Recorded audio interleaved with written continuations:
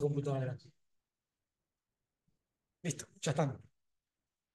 Listo, buenas tardes entonces, colegas. Hemos traído un caso, es algo interesante, algo que hemos estado estudiando, ya conocemos más o menos la evolución del paciente, lo que lo vemos de guardia, ¿no? Eh, de una neutropenia febril, sobre todo es la base del, del, del tema, el paciente inmunodeprimido que hace fiebres y eh, cómo ha ido evolucionando. A ver. Es un caso clínico de una femenina de 39 años internada desde el 26 de julio en una leucemia amiloide aguda que realizó esquema de flagida y que durante su internación comienza con la conocida mucositis, la inflamación de las mucosas eh, del organismo por eh, los medicamentos quimioterápicos y biológicos, ¿no? Y se asocia a una bacteriemia de Klebsiella oxitoca. Más o menos los antecedentes es diagnóstico de leucemia amiloide aguda desde el eh, diciembre, digo, de septiembre 12, eh, sí, septiembre 12, ¿no? Riesgo intermedio, pendiente eh, los laboratorios citogenéticos en esa época, ¿no? Se inicia tratamiento con quimioterápicos de citarabina y de rubicina y se da las, eh, las consolidaciones eh, como están en las fechas indicadas, ¿no? Del 30 de octubre de 2023, eh, abril de, ah, digo, diciembre 4 del 2023, enero 16 del 2024, hasta que cae en, eh, la recaída eh, para este año, el 31 de julio, se inicia el tratamiento o el, las indicaciones de hidarubicina más fludarabina más citarabina. Citarabina, ¿no?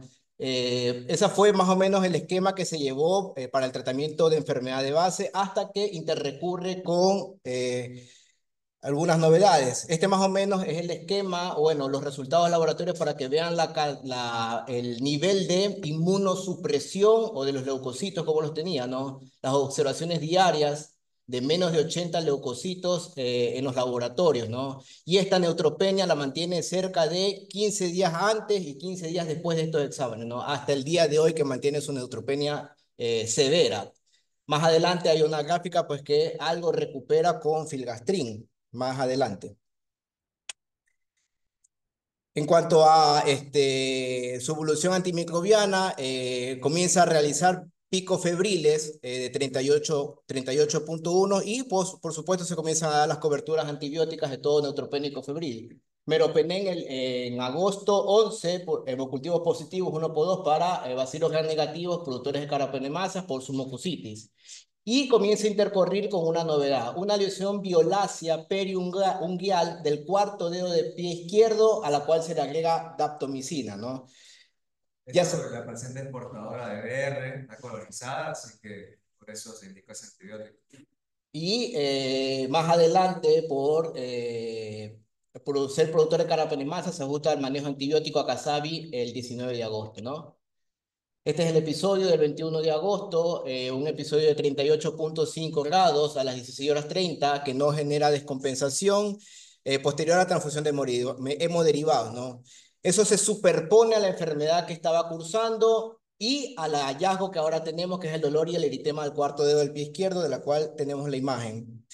Eh, fue el foco inicial, el foco inicial eh, de ese dedo, que inicialmente solamente estaba localizado en la uña. Era una eh, onicomicosis inicial hasta que evolucionó a ese eritema eh, de ese dedo para luego diseminarse en todo el cuerpo, preferentemente en miembros inferiores, sobre todo de pantorrillas, que era lo más llamativo. Esto es lo que encontramos en el examen físico del pie izquierdo, eritema, edema, violáceo, difuso del todo el dedo, doloroso a la palpación, eh, con eh, aumento de la temperatura local. Se asocia a descubrimiento de la placa inguinal y cromoniquia amarillenta, así lo explicó eh, textualmente dermatología, como cromoniquia amarillenta. Recuerden que la cromoniquia no es más que el cambio de coloración de la uña, ¿sí? Puede ser más hipercrómica.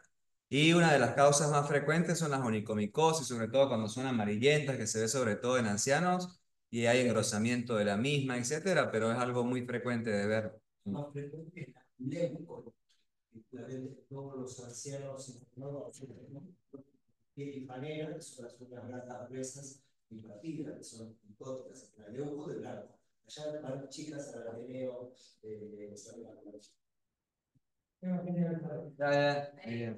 Miren. Esperemos, esperemos. Dale, dale, no, dale. Bueno, sigamos entonces. Por supuesto, se comienza la investigación exhaustiva, ¿no? Eh, se realiza esta resonancia, eh, resonancia magnética nuclear, donde reportan el leve aumento de los tejidos de la lesión periungual, ¿no? Del cuarto dedo, eh, indicando que es una cuestión inflamatoria y indicando que eh, hacer, bueno, profundizar en los exámenes, ¿no? Lamentablemente aquí no se ve. En momento estamos hablando de 180 blancos, Ajá. Sí. Eh, 23 de agosto. sí. Un mes. Ajá. A ver, estamos en un mes y medio. Un mes y medio. Aproximadamente. Sí. Sí. Entonces ya tuvo recaída su enfermedad, fue derivada de su provincia acá. Acá hizo el esquema flagida de San Juan. O sea, a ella se le diagnosticó la enfermedad, vino acá, hizo el esquema 7-3, e hizo tres consolidaciones, tuvo una larga internación con distintas intercurrencias infecciosas, se le da el alta, vuelve a su provincia, estaba en planta un trasplante eh, de médula ósea, pero intercurre con su recaída de su enfermedad, así que es nuevamente derivada otra vez a este centro y se rescata con el esquema flagida y eh, tras la neutropenia profunda, que duró más de un mes con menos de 100 de blancos, intercurre con mucositis, donde se rescata esa Klebsiella oxytoca y estuvo cubierta con cefazima y bactán eh, casi cuatro semanas prácticamente. Y, este, cuando, y simultáneamente se agregó en el medio esta lesión en el pie, eh, que no, Sin aparentemente no, no había ningún tipo de traumatismo, fue algo espontáneo. Eh, cuando se revisó, eh, lo vieron con dermatoscopio, estaba amarillenta. La verdad que es difícil ver que esté amarillenta la uña de la paciente, pero esa fue la, la evolución que hizo el equipo de, de dermatología. ¿eh? Y obviamente se curó con daptomicina, estuvo con, eh, con amplios espectros de antibióticos, pero a pesar de eso seguía febril persistente. Y es cuando empezó a resonar más esto de que probablemente estuviésemos ante, ante una infección fúngica, ¿eh? tranquilamente. Una respuesta inicial antibacterial para luego recaer. Exacto, había mejorado la curva térmica porque tuvo dos procesos infecciosos simultáneos. Bueno, primero empezó la mucositis con esta bacteriemia, con el bacilo negativo que se rescató, y después inició con esta lesión y fiebre otra vez que se le agregó la daptomicina y seguía febril persistente, y fue cuando se empezó a, a investigar sobre qué estuviese pasando y le hicieron esta resonancia básicamente para descartar que no estuviese, no hubiese compromiso óseo, que no lo tiene, o alguna colección también que tampoco la tiene, solo inflamación de los tejidos adyacentes al cuarto dedo de ese pie este, izquierdo, ¿no? Creo que es. Pie, pie izquierdo, sí. Sí. Muy bien. Eh, me imagino que, no sé si tenemos, o si lo tendremos después, o si están por decir, tenemos una biopsia de la lesión. Sí. Dos biopsias. Sí. A ver. El, el paciente recibió un esquema de CPTS habitual eh, con, con fludarabina, ¿no? que se conoce. Sí, ahí. Y la es CP3 más fludarabina. Bien. La fludarabina es un tipo, eh, un típico fármaco que genera una severísima eh, inmunosupresión celular. A diferencia de las aplasias farmacológicas típicas de, de, digamos, un, un 7.3, que dan una aplasia global, típicamente dan una inmunosupresión celular prolongada, inclusive mucho tiempo después de la recuperación de la fórmula por hemograma. O sea, los pacientes que reciben fludarabina se transforman, como para tener el esquema en la cabeza, en un casi como SIDA farmacológico durante un año a posteriori de, eh, de haberlo recibido. Entonces, está muy bien pensar, obviamente, el paciente está clásico y igual todas las de la ley del paciente clásico, por la condemia, la mucitis, la dosis, pero también eh, uno deberá defender el respecto a todas las cosas que le podría pasar un inmunosuprimido celular. Y el, el antecedente de la zona paracondicionada no es menor. Claro. Eh, eh, deberíamos ampliar el espectro de los ojos eh, a la oxidomicosis, ¿no? la zona para, paracondicionada. Eh, la pampa húmeda de Buenos Aires, Para. la, la zona de histoplasmosis, la Mesopotamia, para los chicos eh, aparte de ser colombianos y venezolanos, la Mesopotamia es entre Río, Corrientes, Misiones, que es la zona noreste de la Argentina, típicamente eh, ahí puede haber no, pero puede haber paracoxideomicosis. En la zona oeste de la cordillerana y paracordillerana puede haber estos pero también puede haber coxideomicosis. Y eso es uno de los elementos que había que tener. Todas las lesiones en piel, todas pueden hacer lesiones, todas pueden ser invasivas todas se asocian con una supresión celular, y muchas veces el diagnóstico ayuda la piel con la biopsia. Eh, la biopsia de piel, vamos a comprar un poco filarentosos y eh, va a ayudar muchísimo a la, a, la terapia. Creo que en este momento se impone tener un, una anatomía patológica un cliente definitivo para TBC y. Vimos va sobre el examen físico. Esas fueron las lesiones que además del dedo empezaron a aparecer, ¿sí? Eh, como se fijan, eritematosas, eran papulares y cuando uno las palpas eran lesiones también nodulares y dolorosas a la palpación, a predominio de los miembros inferiores, pero también tenía algunas en el tronco y algunas también en los miembros eh, superiores. Así que como seguía febril persistente, a pesar del amplio espectro de antibióticos contra bacilos negativos, anaerobios y positivos, también, eh, se decidió iniciar terapia con anfotericina y como seguía febril persistente, a los dos días se le agregó boriconazol al esquema. Y está con la anfotericina desde, desde esa, fecha, fecha, del 26-8 y el boriconazol también.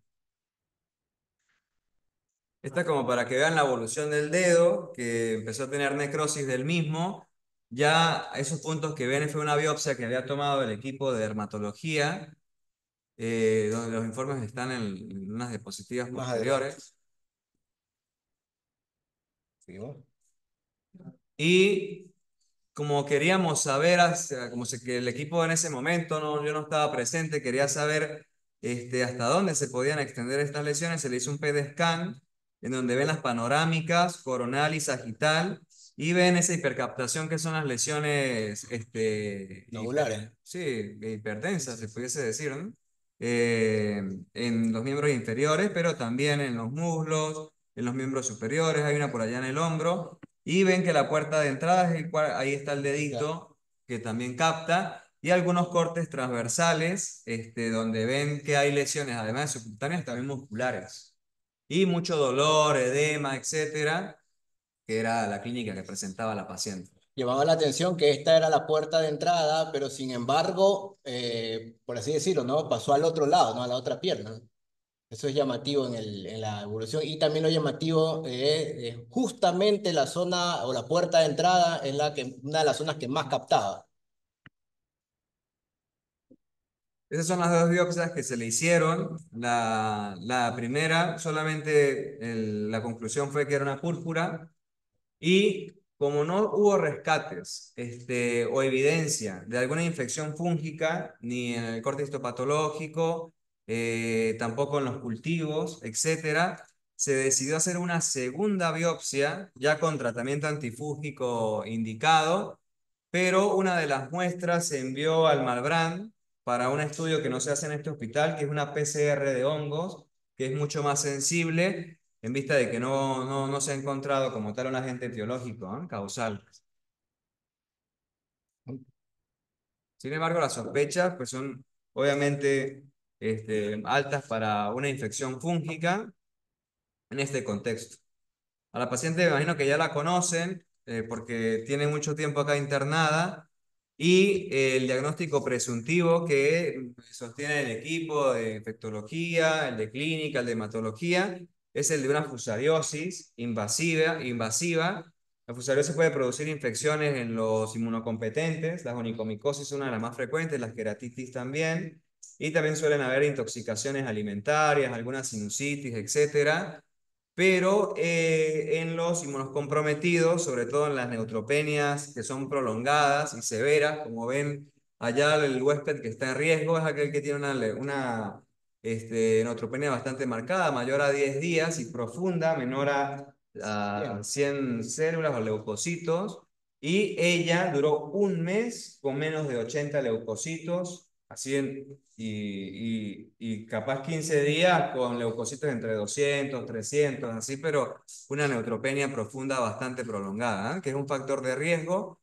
Obviamente, este, el hecho de ser una paciente eh, oncológica y eh, eh, uno debe sospechar esta enfermedad cuando hay fiebre que es refractaria a los distintos antibióticos. Ya lo habíamos mencionado, que estaba con ceftazidima, vivactana y aptomicina, y a pesar de eso no había ningún tipo de mejoría. Y fue cuando se fueron agregando estos antifúngicos, inicialmente la anfotericina y después el boriconazol, que eh, si uno busca, realmente el esquema no puede iniciar tranquilamente con anfotericina, pero hay esquemas donde se puede dar una terapia dual, como en este caso.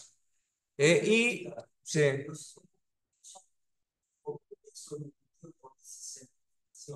No te sabría decir. Son comunes. Sí. No, no, no sé si hay que pedir. No.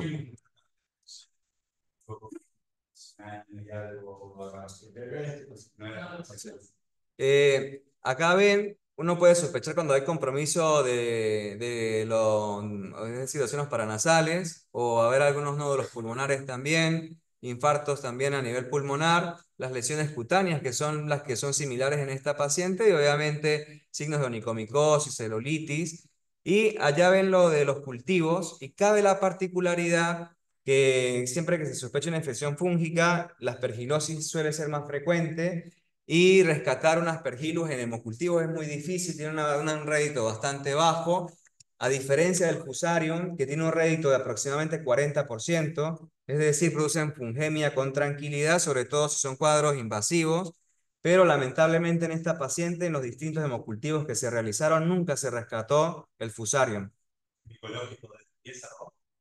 Todo negativo. Estamos esperándola todavía. Hace tres semanas que se enviaron. Yo imagino que intenta recolectar una cierta cantidad de, de muestras para hacer la corrida, pero se ha atrasado. Exactamente. Exactamente. Y lo que yo me acuerdo cuando leí esto, el corticoides, el acercamiento, porque los pacientes típicamente que presentan estas infecciones son trasplantados con inmunosupresión prolongada y enfermedad, digamos, AIDS con tratamientos corticoides prolongados. Entonces, mm. como el prototipo de lo que yo me acuerdo, sí. de, hacen mucha infiltración. Sí. Sí, bueno, en el caso de ella, bueno, todavía no había sido trasplantada, evidentemente, y, y limpia, completamente. Solamente tiene la lesión en el pie y las lesiones nodulares que ya las vieron en el PET, que está tomada prácticamente todos los miembros inferiores. ¿eh? Tenemos dos biopsias Dos biopsias. Dos negativas. Lo único que falta allí que cierre es el silnil, del el, eh, cultivo de bacilo de Koch. Es lo único que tarda. Demora por el crecimiento del. Pero de resto. Bueno, sí, también. Pero no viene nada y en los cortes histopatológicos no vieron IFAS, no vieron levaduras, no vieron ninguna, ningún dato sugestivo de, Ahí ese, ese, es el spoiler, sí. ¿no? Eh, usando el boriconazol y anfotericina, eh, remisión casi completa de todas las lesiones, a excepción de una que está en la pantorrilla izquierda. Eh, de ahí el resto casi una excelente evolución. Eh, sí, o sea, no vuelve a presentar fiebre, al menos. Ahora tiene creo que una semana aproximadamente sin registros febriles. Y las lesiones han en, venido en mejoría, sin embargo aún están presentes las lesiones nodulares. ¿no? Mm. Y esto, bueno, lo que se mencionaba, ¿no? Eh, factores y enfermedades que predisponen a las infecciones fúngicas, ¿no? Y eh, la fusariosis la nombran acá. Y efectivamente, haciendo algo de bibliografía, estuvimos buscando, en el New England solamente reportan dos casos, un niño y el otro una, una señora, si mal no recuerdo, eh, y hay muy poca bibliografía. Muy poca... Sí, unas series, yo lo repasé en su momento, porque teóricamente cuando uno lee eh, infecciones fúngicas diseminadas en pacientes neutropénicos, la puerta de entrada suele ser el pulmón, Exacto. y es lo que está más descrito. Hay una serie de los últimos 10 años, sobre todo brasileras, de centros de trasplante, que hablan del aumento de la incidencia de infecciones fúngicas diseminadas en estos pacientes a punto de partida de intertrim interdigital. Mm. Y que inclusive algunos centros de trasplante de Brasil lo que estaban haciendo era cultivar todos los intertrigos de los pacientes hematológicos como para ya tener detectada la colonización porque saben que este tipo de cosas pueden pasar. Okay. El otro que tuvimos nosotros rescató en sangre primero y a los dos meses pues, se utilizó el cultivo del intertrigo. Sí. Bueno, y este, eh, bueno, este dispositivo indicaba eso, ¿no? Los tipos de micosis, como siempre, las candidiasis, la aspergilosis, y se, a veces se deja un poco de lado el resto, ¿no? De, de micosis. Estas son fotografías, ¿sí? De distintos pacientes. Este, estas son de up-to-date. Eh, lo que hoy hablamos de la cromoniquia amarillenta, ¿sí? Este es un paciente con una onicomicosis por fusarium. Puede producir estas lesiones ulcerativas, que en el caso de ella no llegaban a ser así también. Y estas lesiones que son más nodulares con un centro necrótico, ella tenía lesiones similares. No sé si, creo que no se logran ver muy bien, pero esta me, me impresiona que es algo similar. No sé qué piensan ustedes. Si bien la otra es más eritematosa, etcétera, pero esta fotografía también tiene demasiada luz, así que los colores no son los reales. ¿eh? Como muy quemada.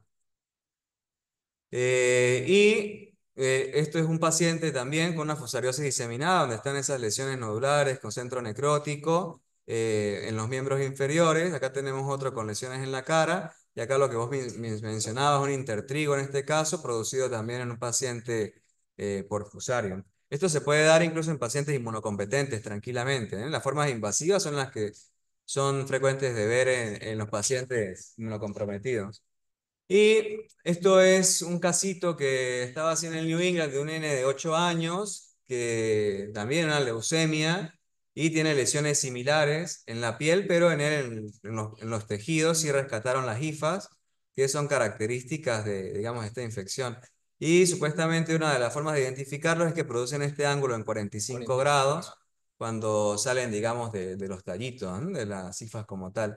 Y este otro caso, como para que vean lesiones similares de pacientes con, con diagnósticos eh, de enfermedades oncomatológicas, inmunosuprimidos obviamente, y con fusariosis invasiva. Eh, como para tener en cuenta, esto se debe pensar obviamente en cuadros ver la clínica y las características que vimos aquí el cuadrito este, ya podemos sospechar el diagnóstico.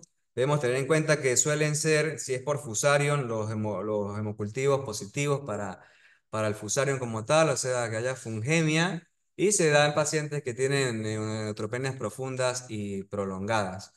Eh, para poderlo diagnosticar, obviamente, es la biopsia y encontrar esto que en nuestro caso no se pudo hallar, los cultivos también, que algunos no han cerrado, pero aparentemente todo eso va a dar negativo. Existe esta prueba de PCR por hongos, que es mucho más sensible también, eh, que ya sería como la última instancia, y uno pudiese pedir el galactomanano. Pero el tema es que el galactomanano se usa sobre todo para infecciones por aspergillus. Sin embargo, han estudiado unas cortes de, de menos, menos pacientes, creo como 14, y han encontrado que 11 eh, tienen galactomanano positivo, pero por una reacción cruzada, que incluso en pacientes donde esta eh, la fusariosis es endémica, vos estás avalado para hacer una, este, medir el galactomanano y si positivo, asumir que es una fusariosis, sin necesidad de que tenga los otros criterios como tal.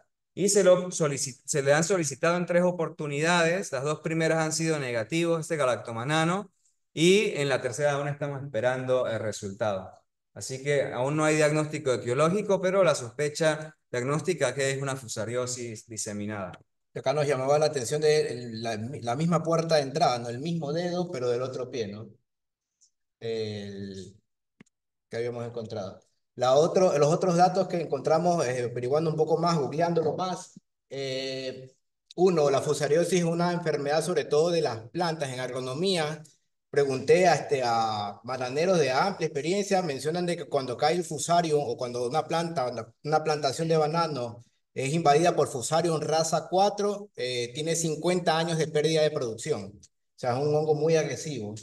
Ese es un dato que encontramos. Otro dato que me preguntaba un compañero que pasaba por, por el área también, el pronóstico pronóstico está un poco eh, oscuro, sin embargo, hay, una, hay uno o dos casos, así como el chico, de eh, que salieron de su, de su micosis, de su neutropenia, se hizo el trasplante y pudieron salir. Eh, incluso eh, estuve leyendo de serie, una serie europea, o sea, un caso europeo puntual de una chica que a los dos días de anfotericina B salió, pero oh, intervino un microbiólogo. Fue directamente dirigido a un microbiólogo el, la toma de la muestra y encontraron el fusario a tiempo, ¿no? Y ese pudo salir. Esos son los datos que, que tenemos. Pero la fusario Sobrevivió, sí, bueno, sí. Tiene todavía la, es una, no olvidemos dónde estamos parados, es una LMA eh, Sí. No, y, y ya recayó otra vez, tiene 40-50% de blastos en la última PAMO y inició ayer rituximab, que es un anti-CD33, que básicamente es un anticuerpo que eh, la- las células de la leucemia aguda, el 80% tiene el CD33 positivo, así que una vez que llega el anticuerpo, lo introduce, pero dentro tiene una especie de toxina que básicamente cliva el, el ADN y detiene el ciclo celular y obviamente genera una apo- apoptosis, pero lo toleró bien y bueno, va a quedar aplásica y está en espera de un donante para el trasplante de médula ósea. Ya tuvo ventana. Luego de la primera consolidación se podría haber. Pero bueno, tuvo intercurrencias infecciosas en el medio, ahora recayó de nuevo. Y ahora tampoco se va a decir. Se supone, se supone que está por el pie, por el dedo gordo o el dedo gordo. No, el dedo gordo. No, por el cuarto de... Cuarto, cuarto dedo, cuarto dedo. Por el dedo gordo. Si el cuarto dedo, se supone que es la parte de atrás, es un impacto madre. Y puede ser cualquiera de las dos. Las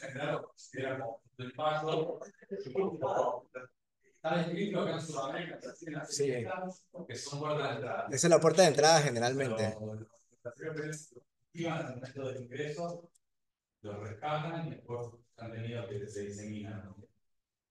Pero esa fue la, la primera lesión. Fue la primera lesión.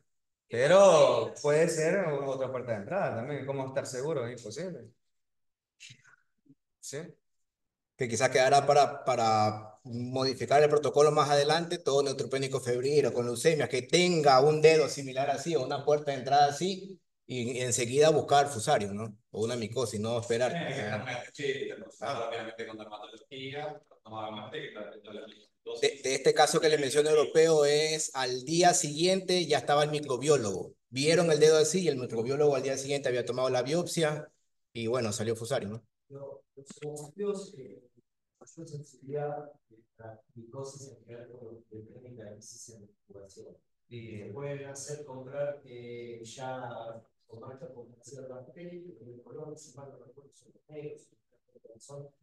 de color especial, o se pueden mandar a hacer el o sinfonía.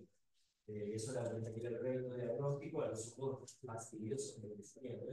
Y acá no hay. no. ¿Ah, sí? Sí, sí, sí, claro. Eh, las apolinas inclusive te lo pueden hacer el el mismo laboratorio, es un tubo de ensayo que le eh, ¿Cómo se llama? Repetí, por favor. es centrifugación, por. Centrifugación. El otro punto es cultivar eh, médula ósea. Si yo pienso en una micosis sistémica, estos pacientes que tienen médula galactoxemia, seguramente en esta relación son una o dos. Sí, sí. Claro. Sí, dos. La médula es tremendamente rica, para hacer el recupero de micosis. Entonces, si hay, hay más de un un pequeño ruidoso con el inocular dentro de una botella de situación. Digo, como para eh, ampliar la, la base diagnóstica, la posibilidad diagnóstica que tenemos. No solo de sangre, sino que podemos hacer eh, bio- biopsia de cualquier elemento del sistema reticular. Mm. De hecho, la no que por algunas circunstancias se biopsia el hígado, por el hígado, si por algunas circunstancias se ganglio, por el ganglio, si es evolutivo, por el por esa circulación. Ah, bien. Eh, pero bueno, me parece que tienen un muy buen diagnóstico a la mano de una PCR, que ahora en cualquier momento va a aparecer, porque cuando llegan al número que tienen que abrir el sobre, abren el sobre y están en día. Mm. Eh, no es, la PCR es una técnica muy veloz. Claro. La Argentina contamos con pacientes para manejar el material. Claro. Y bueno.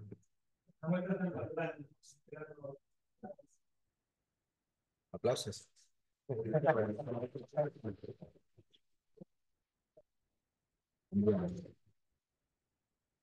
Eh, voy a detener esto. ¿no? Déjate compartir.